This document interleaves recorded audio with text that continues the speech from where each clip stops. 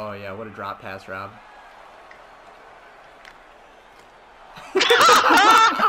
No way! That was nasty with the fake slap.